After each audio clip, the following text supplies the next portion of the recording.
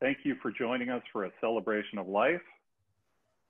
With an invocation for our celebration of life, I'd like to introduce past District Governor Marty Peters. Thank you. Good evening. This evening, we take the time to honor our fellow Rotarians that have passed. Remember them now. We now stand on their shoulders to serve. Let us now give them thanks and celebrate their lives of service.